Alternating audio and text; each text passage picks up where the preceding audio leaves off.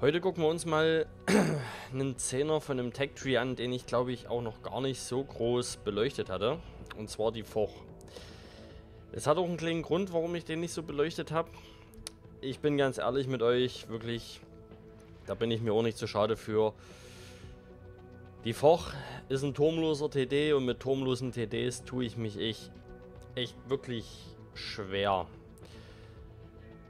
Ich weiß, dass viele gut sind ich mag auch wirklich viele, also zum Beispiel die Foch mag ich sehr, Badger absolut geil, 268, 268, 4.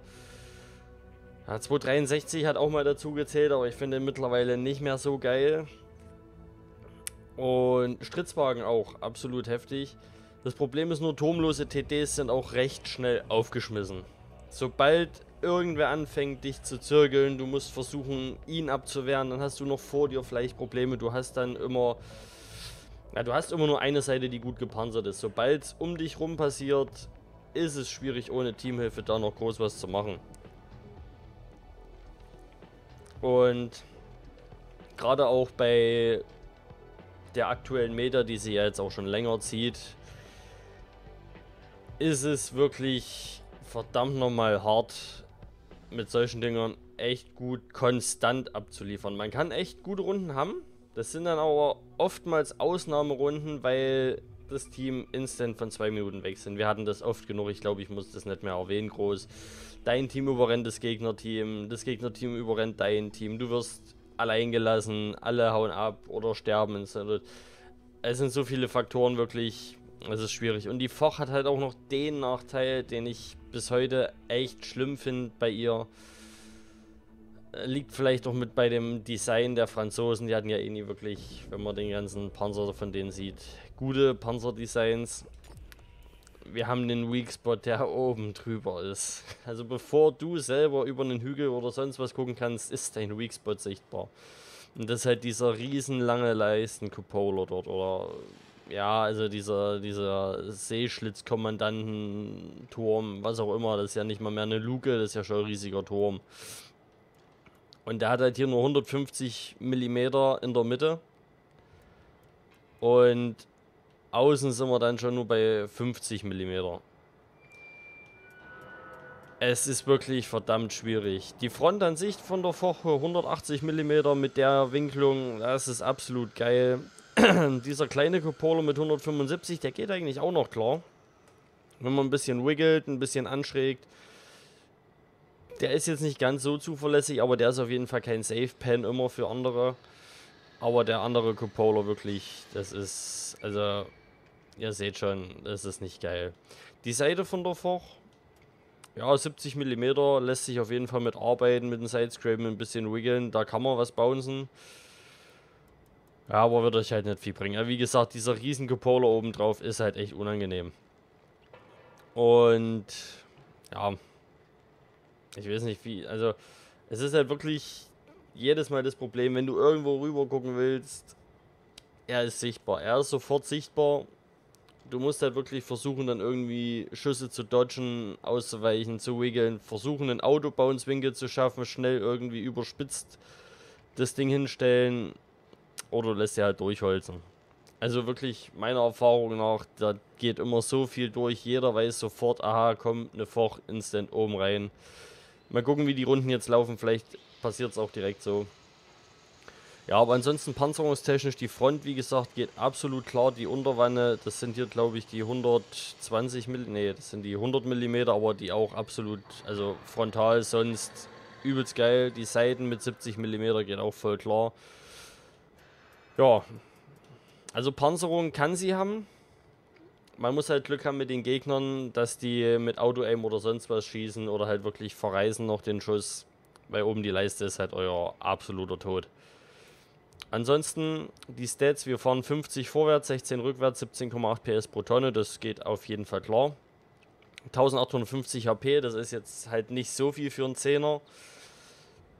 Gerade mit so einem krassen Weakspot oben drauf ja, mal gucken, vielleicht macht WG ja sogar noch was. Wir haben einen Tarnwert in der Bewegung von 334 und eine Sichtweite von 497, also knapp 500 Meter. Das ist schon geil. Wir sind 170 Meter knapp über unserem Tarnwert in der Bewegung. Also damit kann man arbeiten. Wir haben 18 Grad nach oben, 6 Grad nach unten und wir haben 10 Grad nach rechts und links. Ja, ist jetzt auch nicht das Beste, könnte aber auch schlimmer sein, dadurch sie relativ schnell dreht. Wir sehen es hier unter den HP 30 Grad die Sekunde, also sie ist da auch relativ flink. Nachladezeit, ja, jetzt kommen wir darauf. Die Foch hat zwei Kanonen.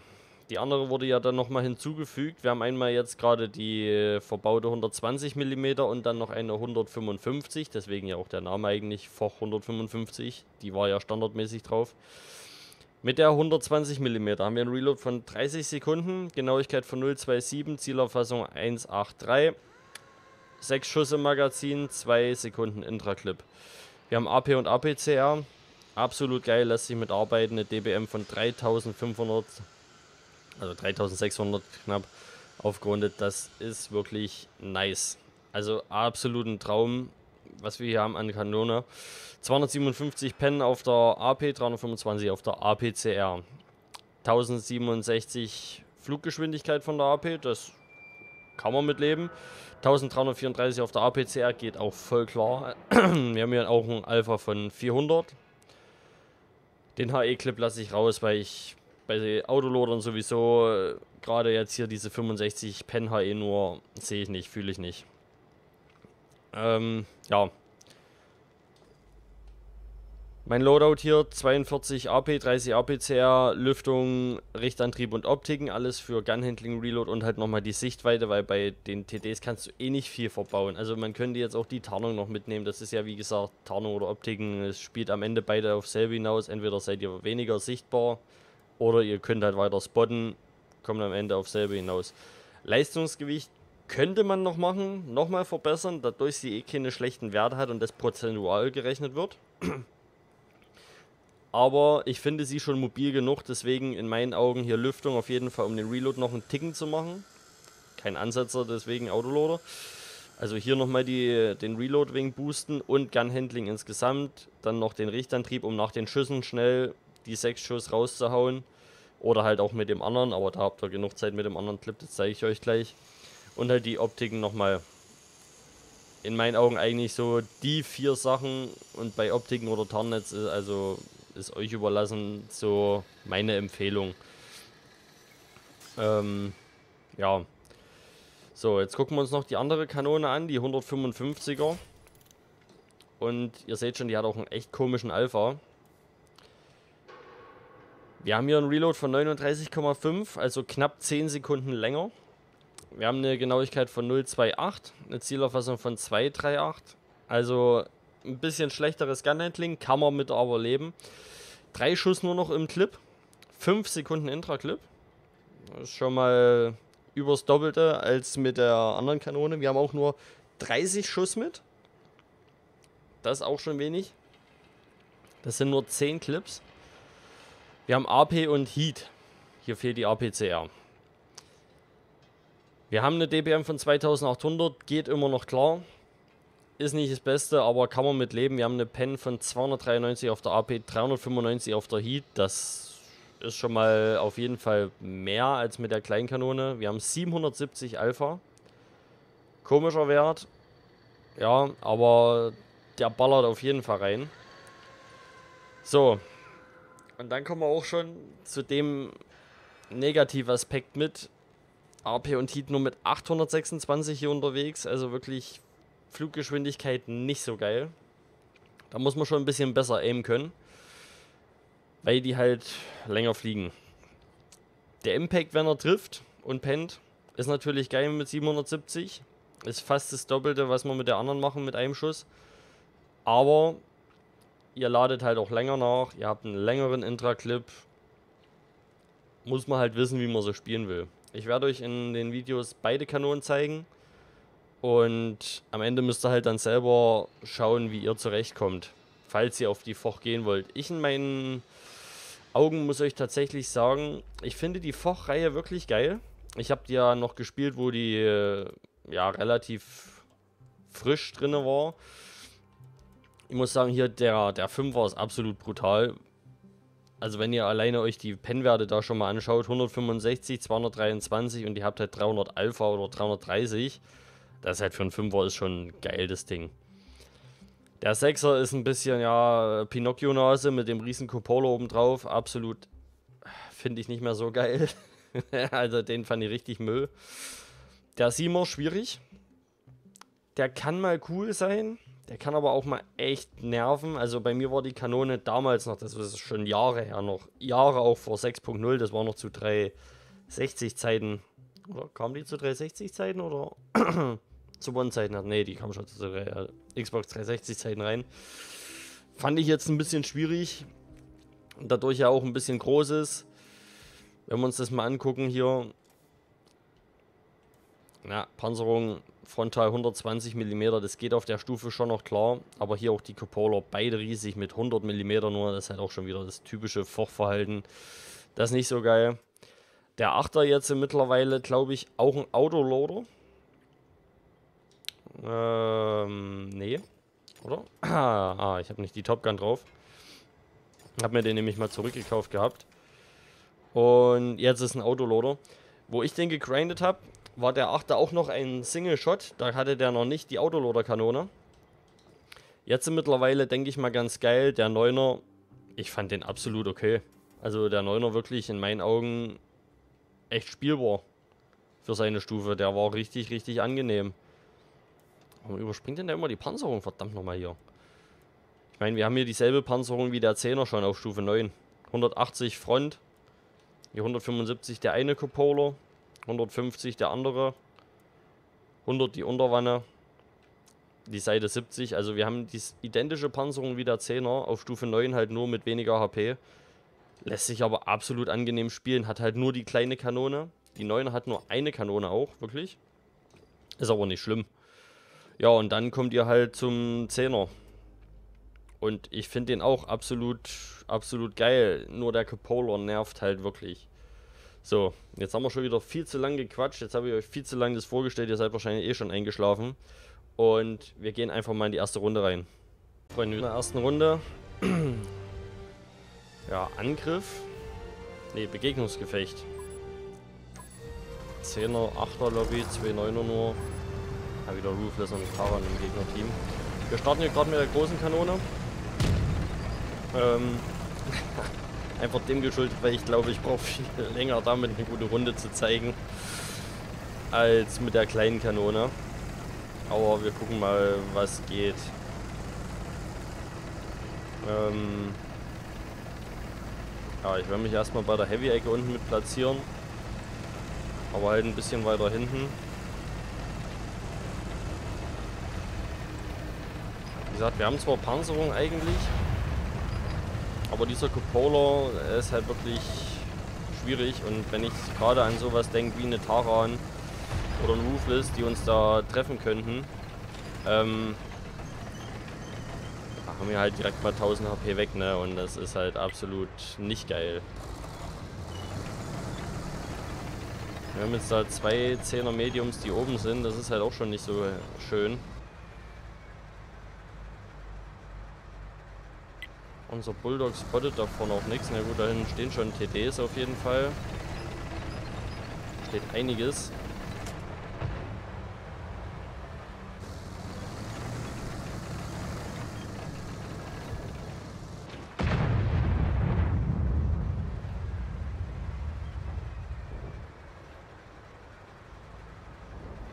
Muss jetzt halt den Spagat finden zwischen hier Damage machen und ähm,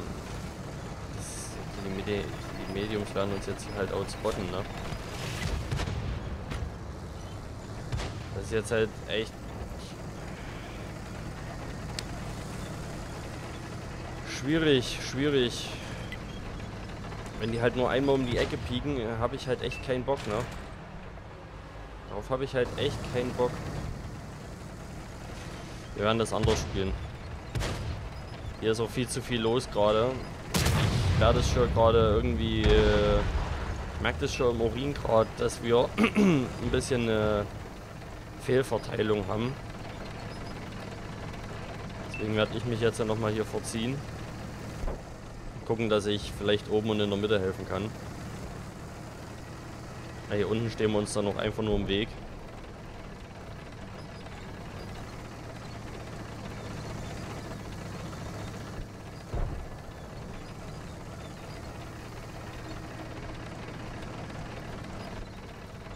Ja, oben ist unser Light jetzt auch viel zu aggressiv. Das habe ich mir jetzt gedacht. Das ist halt nicht so schön. muss jetzt halt gucken, dass ich irgendwie irgendwo was noch mit anbringen kann. Es steht schon 12 zu 15. Es ist halt wirklich schwierig. Gerade mit so turmlosen TDs. Deswegen sage ich ja, ich tue mich da richtig schwer, effektiv spielen zu können. So, erste konnte man anbringen. Haben wir einen Schuss gebounced. Wir sind am Murat gebounced. Okay. Hm. Ja. So, jetzt ist der ELC natürlich absolut unangenehm.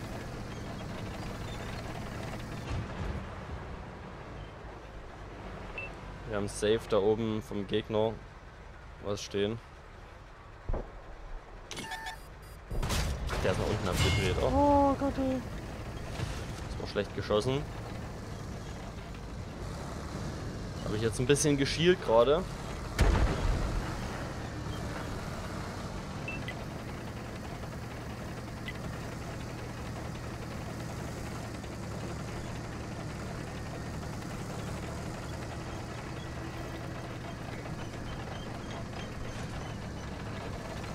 Und 30B lass dich da jetzt bitte bloß nicht droppen, Alter.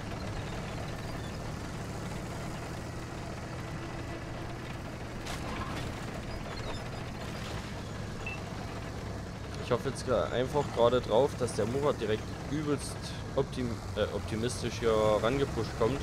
Motiviert, wollte ich sagen, nicht optimistisch.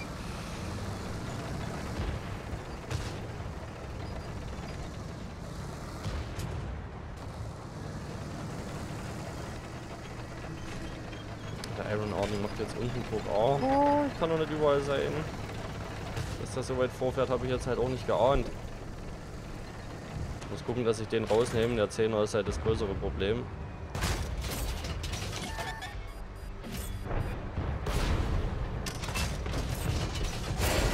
Ja, ihr seht halt, T44 aimt direkt halt auf meinen Controller. Hat gar kein Problem, mich zu pennen. Oh, jetzt sind sie hinter mir durch gleich. Ich habe den Clip angebracht. Das ist ganz angenehm. Bin aber halt im Reload. Und mein 50-120, der sieht halt auch nicht mehr so dolle aus. Zumal er jetzt halt auch keine Chance hat. Da kommt eine Tara an, Digga. Was, was soll ich machen? Ich könnte jetzt wegfahren, dann dauert es ewig, bis ich mich umgedreht habe. Ich muss gucken, dass ich den Clip noch durchkrieg. Und dann... Holla, die Waldfee. Das ist jetzt was Persönliches, deswegen Fokus auf die Taran. Der hat halt, der hat halt gar keine Probleme. Ich wollte fürs Team noch was machen. Oh, ich habe noch was fürs Team gemacht. Der ist raus. Puh.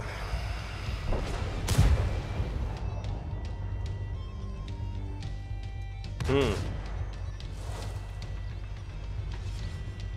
Das ist halt, wir hatten auch keine Map Control, kaum Sicht da ist mit TD halt auch schon wieder schwierig, dann gut zu arbeiten. Vor allem mit einem Turmlosen.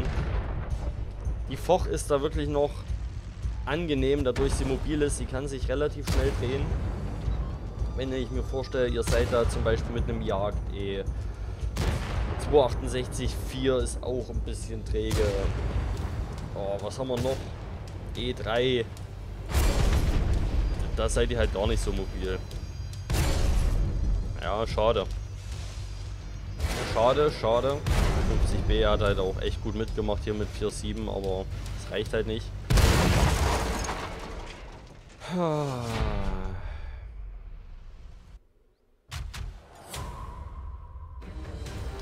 Ja, nicht so geil gelaufen. Aber 4-1 haben wir gemacht, 640 noch gespottet mit. Ja, 50B absolut geil mitgemacht, aber Charmania 8er die haben es versucht zumindest. Da fehlt auch ein bisschen die Pen noch. Ja, 30B hat sich halt nicht so mit Ruhm bekleckert. Ich weiß nicht. E50 auch nicht. Unser Roofless. Alter. Digga. Naja. Also, ich weiß nicht. Petten halt auch nicht. Ja, schwierig. Aber ich denke mal, ihr wisst, was ich meine. Ach, und mir fällt jetzt gerade ein, aber bevor ich es vergesse, das habe ich euch ja gar nicht gezeigt. Äh, mein Kommandant. Filter raus. Was ich auf dem Kommandanten drauf habe. Also ihr seht ja selber Fähigkeiten hier. Äh, Waffenbrüder, schnelles Nachladen, sechster Sinn, Weitsicht eben halt drum nochmal, um weiter zu spotten. Reparatur auf jeden Fall. Also Kettenreparatur, damit man sich schnell wieder drehen kann. Tarnung habe ich hier auf jeden Fall hoch gemacht. Genauigkeit und leises Fahren noch. Tarnung deswegen bei der Foch relativ viel, weil sie halt wirklich, ihr seht schon, auf einen echt angenehmen Wert kommt. Also man könnte auch die drei Tarnungsperks rausnehmen. Macht, weiß was ich, äh, Moses, hier noch allgemeine Reparatur drauf. Dann könnte man vielleicht noch, ja, was weiß ich, Genauigkeit während der Fahrt verbessern. Man könnte hier noch die Wanddrehgeschwindigkeit, aber ich finde, es sind halt alles Werte, die bei der Foch echt schon angenehm sind. Da muss ich nicht wirklich viel machen. Und ja. Es ist am Ende euch überlassen. Hier Geländespezialist noch. Ich weiß nicht, was ich noch dazu sagen soll. Nur damit ihr das auch noch gesehen habt, bevor ich es hier vergesse. Mensch, wäre halt asche alt. Ja, ich finde die Runde ging aber eigentlich. Ihr habt gesehen, auch der Impact von den 770, der ist halt schon geil, aber ihr habt nur drei Schuss mit einem recht langen Intraclip. Und wir gehen jetzt in die Runde rein mit der kleinen Kanone. So, Freunde, wir sind in der Runde mit der kleinen Kanone. Servo Ghost, Standardgefecht, große 10er Lobby, Alter, 3x4005, ey, boah. Und was soll ich sagen, das ist eine Map, die ich jetzt nicht so gerne will. Einfach dem geschuldet, weil wir hier auch nicht so viel Platz haben, irgendwo irgendwas zu machen. Wir werden mal gucken, dass ich relativ aggressiv hier mit mich vorne platziere. Weil an die Front fahre ich nicht. Bis die da rauskommen, ähm, ja, wegen Cupola und so, ihr wisst schon Bescheid. Ich werde mich hier platzieren.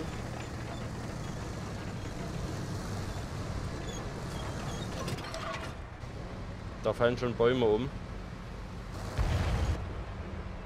Sheridan. Der Stein gerade im Weg.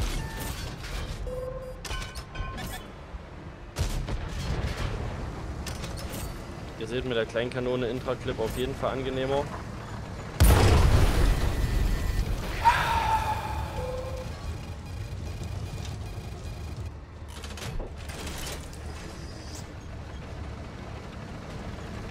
Ich krieg mich jetzt nicht auf.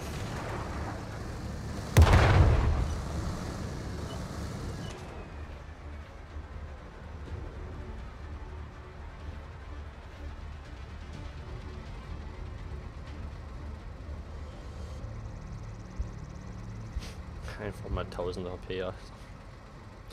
ja, ein Brand kann hier auch mal passieren. Kann ich euch gleich sagen.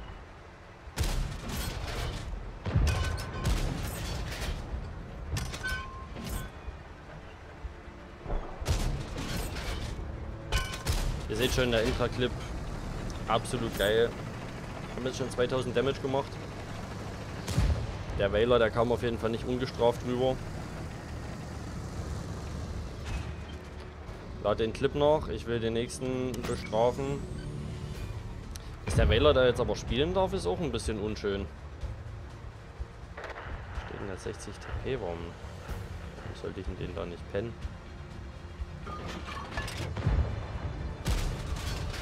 Hä? Wo ging der jetzt hin? Hm, okay.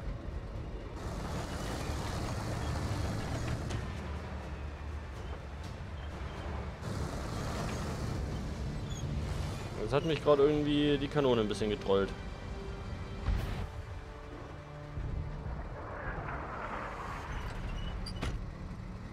Na, mach den Wailer jetzt doch mal weg.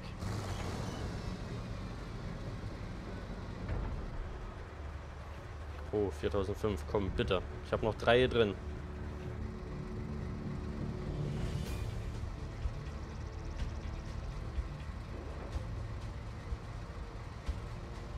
Pusht jetzt halt auf unseren T100, da kann ich nicht helfen.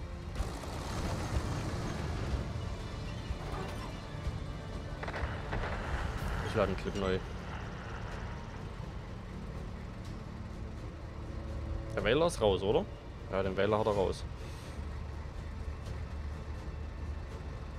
Ich hätte jetzt auch fast gesagt, hätte ich noch genug HP, scheiß drauf, fange ich mir die eine vom 4005, push ihn und gebe ihm meinen ganzen Clip. Aber dadurch die Arti mir ja direkt zu Anfang des Spiels erklärt hat, wo mein Platz ist, sehe ich das halt gerade nicht mehr so.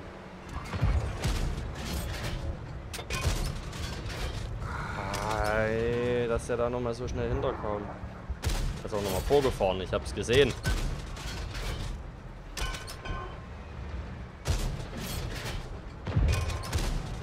Ich prall beim letzten an der Kette ab. Ei, ei, ei, ei, ei, So, jetzt mache ich hier aber... Jetzt mache ich hier Gas, weil sonst kriege ich ja nichts mehr vom Gefecht ab. Ich muss jetzt auf den 4005 fahren.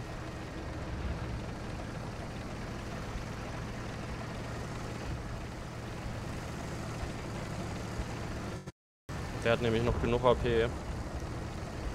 Und unser Mäuschen bounced anymore, okay. Komm 4005 lad nach, ich will die Kelle nicht fangen.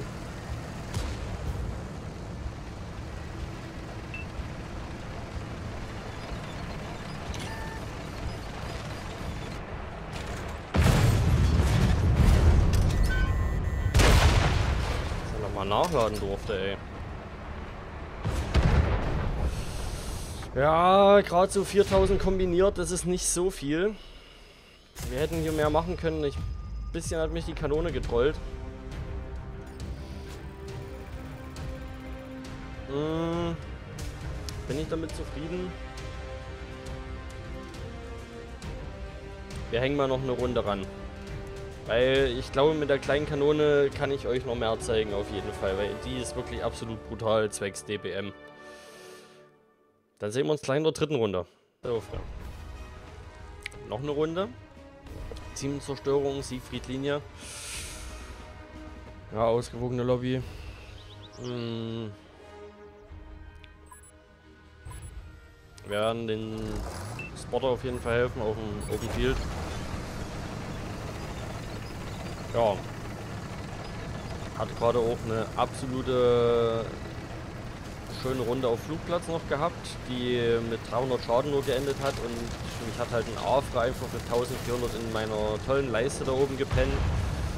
Das ist ja das, was ich meine und da bin ich auch mal kurz wieder, also wirklich Afra-Spieler, die, also mit denen kann von mir aus alles gemacht werden. Das ist wirklich, also ich spiele den Tank auch einfach aus Prinzip nicht, weil der mir zu dumm ist. Das hat mir schon wieder gezeigt, also bei aller Liebe, aber dieser Panzer ist halt einfach nur dumm. Einfach nur dumm.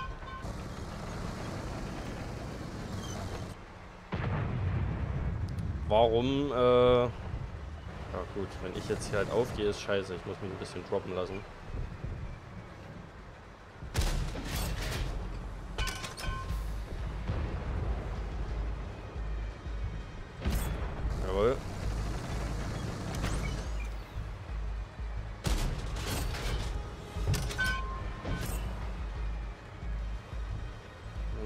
Offen halten, mein Freund. Nur offen halten.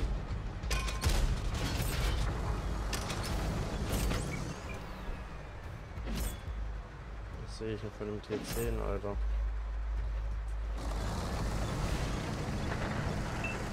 Nein, Höllenhund. Oh. Egal, wir gehen jetzt sehr aggressiv weiter vor. Unser Team steht mit zwei Mediums schon da vorne. Natürlich ein Afra. Sollte es anders sein. Aber damit können wir arbeiten. Mit, immer, mit der erspielten Fläche jetzt hier. Und der Gegner hat natürlich auch einen Afra dort hinten. Ja, wie, wie soll es anders sein? Wirklich. Dieser Panzer macht so das Spiel kaputt.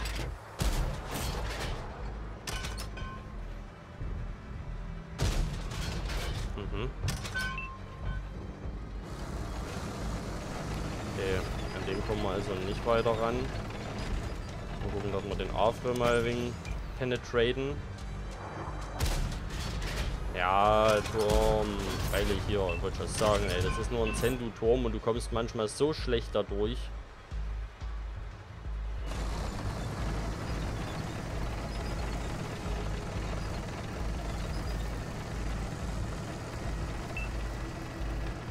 Da oben die Mitte wird jetzt halt auch schon echt gut gespielt vom Gegner. Ich versuche mich mal hier zentral zu stellen. Und vielleicht oben noch mit reinwirken.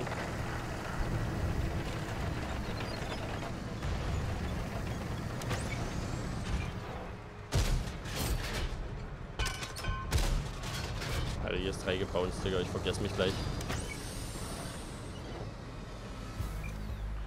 Aber 13 zu 12, noch ist gar nichts so safe. Weil wir halt nicht die Stadt dominieren.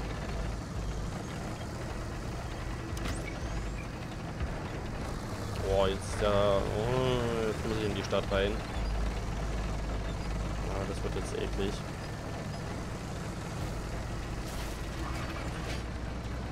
Wir haben 1, 2, 3, 4. Oh, wenn ich jetzt noch Damage will, muss ich rennen.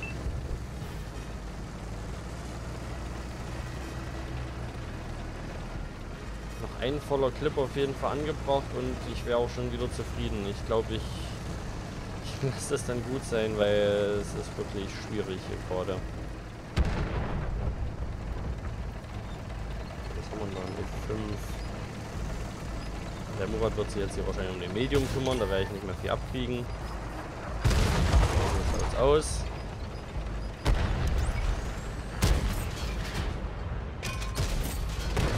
So, den Rest kannst du haben von mir aus, genau.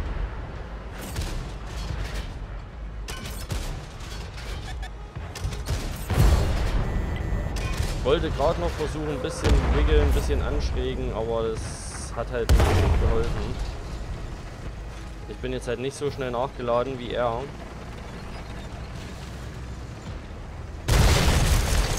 Okay. Da hat er mich jetzt gepennt, Alter. Nur die Seite reingeballert? Ne, der andere Bowler. Ja, okay. Ja, 68 hat halt auch genug Pen. Es ist halt schwierig, den dann zu, zu bouncen. Ja, auf 5-5. Ja, der Clip war jetzt nochmal wichtig auf jeden Fall. Ich glaube, wir sollten das gewinnen auch. Turmlose TDs tue ich mich aber auch wirklich verdammt schwer. Falls das einer von euch mitgekriegt hat, deswegen kommen auch nicht so viele Videos davon. Bin ich ganz ehrlich mit euch, weil ich da echt nicht so gut wirklich weiß, immer mit umzugehen. Das ist echt schwierig, den Situationen dann vorausschauend zu agieren, damit du nicht sofort drauf gehst oder damit du noch genug Damage machst. Also wirklich turmlose TDs und ich, das, das ist so eine Hassliebe. Ich mag die Dinger echt gerne. Aber du hast so selten echt krasse Runden. Gerade jetzt hier bei dem Jagd, sieht man es eigentlich am besten. Er muss so weit rumpieken, der WT könnte ihn locker auf Kette gestellt haben, bevor er rumzieht und dann voll den Clip entladen. Er hat echt Glück, dass der WT wahrscheinlich im Reload ist. Ja, Digga, Alter. Das ist jetzt aber, also... Was wird das, wenn es fertig ist? Na ja, gut, jetzt kommt der Afre. Oh, schön, schön. Ja, nichts den Afriss geben, Alter.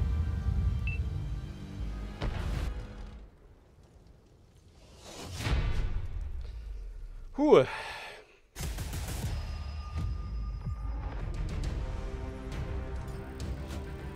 Ja, 5-5 kombiniert, damit bin ich, damit bin ich zufrieden. Das geht klar, auf jeden Fall.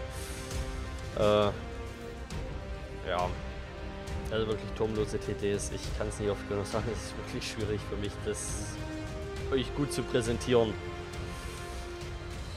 Ah, ich hoffe trotzdem, euch hat das Video gefallen. Wie gesagt, die Foch eine Reihe für mich, die ich echt gerne spiele. Aber mit diesen Cupolern, das ist wirklich, wirklich anstrengend. Die haben halt DBM, die sind mobil. Die frontale Panzerung geht halt auch, wenn der Cupola nicht wäre. Ist wirklich, der macht das halt komplett eigentlich unnütz.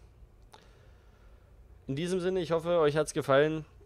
Und wir sehen uns beim nächsten Video, Freunde. Reingehauen.